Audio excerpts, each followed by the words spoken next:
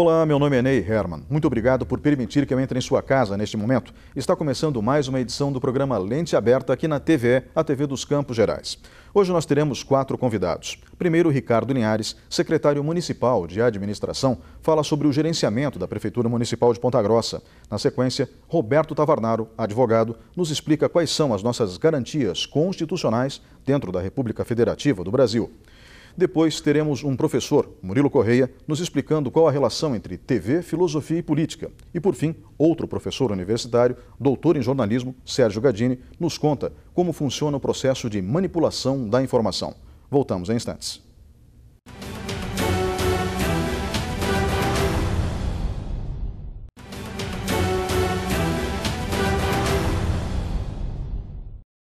Olá, estamos de volta com o programa Lente Aberta e agora vamos conversar com o secretário municipal de administração da Prefeitura de Ponta Grossa, Ricardo Linhares. Secretário, obrigado pela sua presença hoje aqui. Eu que agradeço, Ney. Estou sempre à disposição quando eu posso. Secretário, é, justamente esse é um dos fatores é, interessantes na sua função. O senhor trabalha praticamente o dia inteiro, às vezes inclusive nos seus horários de folga, porque a Secretaria de Administração é uma secretaria meio, não é uma secretaria fim. E como secretaria meio, ela acaba atuando uh, em diferentes operações da prefeitura. Praticamente o gerenciamento da máquina pública passa pela sua mão. E é óbvio que isso exige um esforço muito grande. Mas eu gostaria que o senhor me relatasse, basicamente, qual é a função primordial da Secretaria de Administração para que o público em casa possa entender um pouco melhor. Veja bem, Ney, nós temos na, na minha pasta, eu tenho 11 diretorias, né? São 11 diretorias. Começa pela porta de entrada, pela praça de atendimento, né, até a central de veículos que está sobre a minha administração.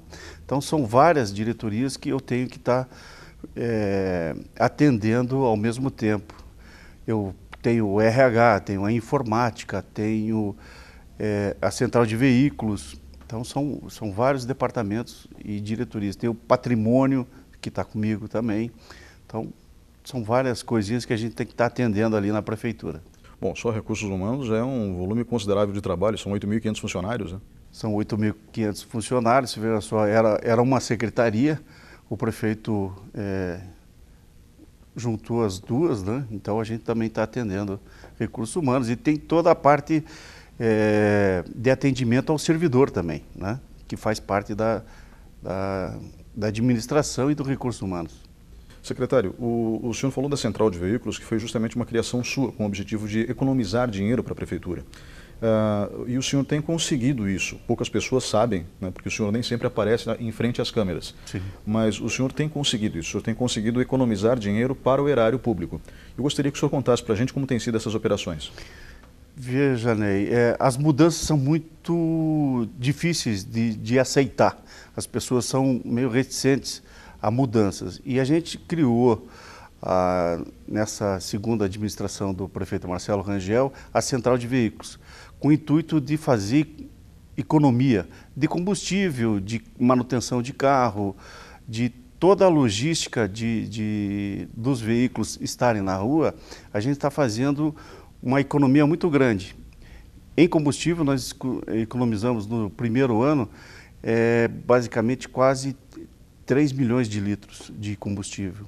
Então é um número muito grande por só racionalizar as coisas. Né? Então a gente faz uma administração com o pé no chão para poder economizar e fazer que a prefeitura gaste o menos possível. Até porque a nossa cidade ela é grande, ela tem uma malha urbana imensa, similar à malha urbana de Londrina.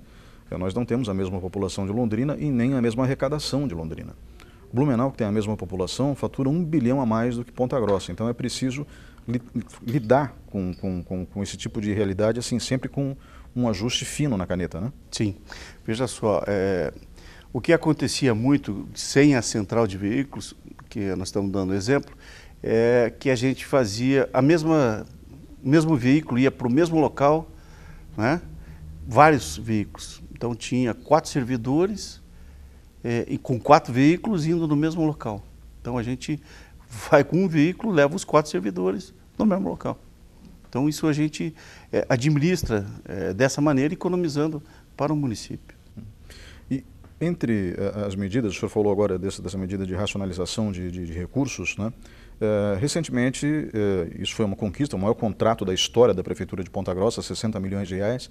Uh, parte desses 60 milhões vão justamente para a área de TI, de tecnologia da informação, que o senhor administra também, né? Isso.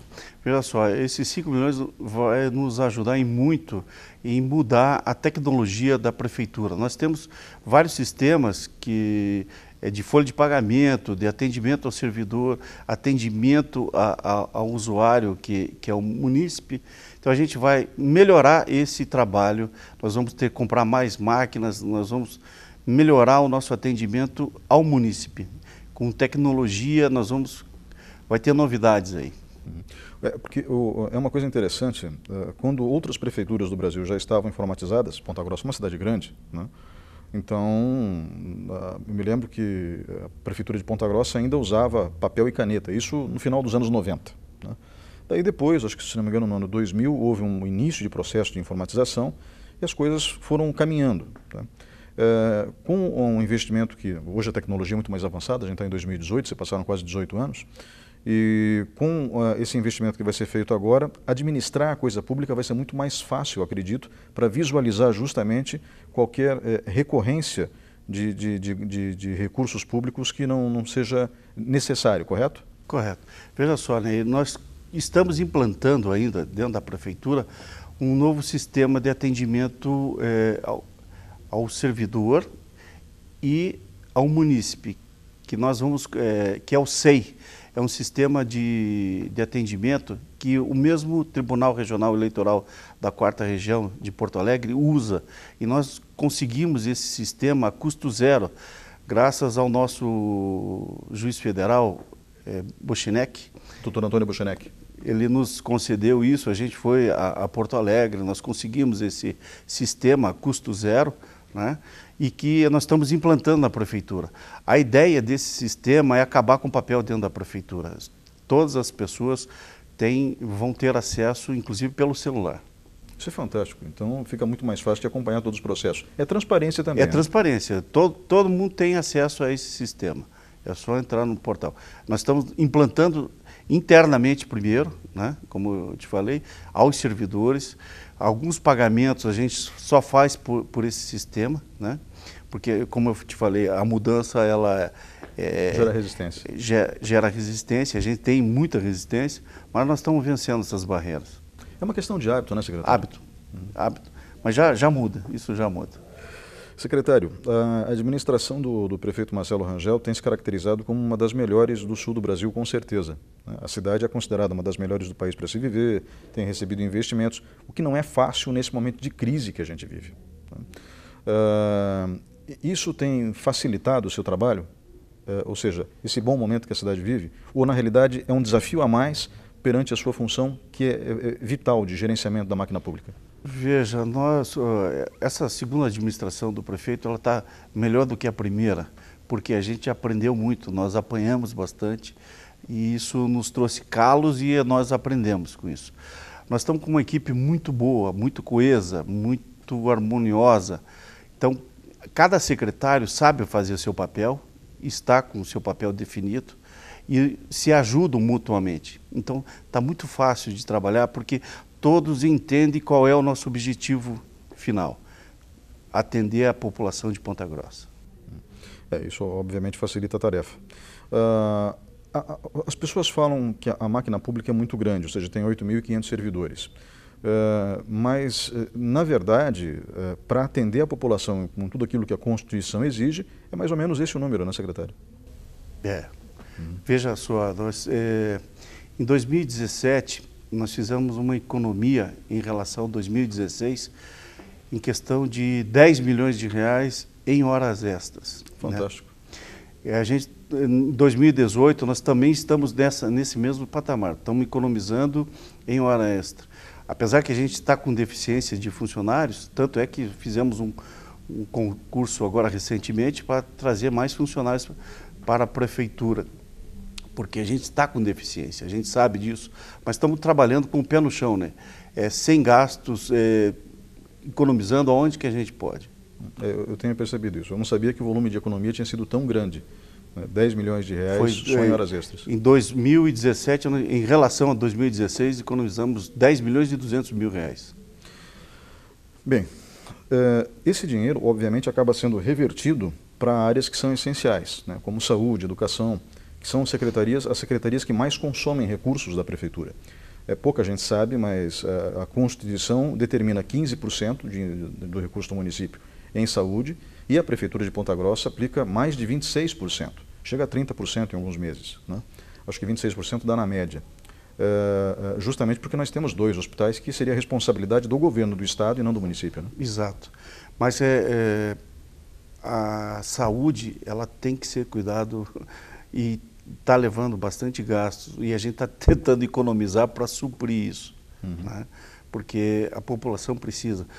A administração do prefeito Marcelo Rangel pegou a saúde num caos e transformou ela numa realidade.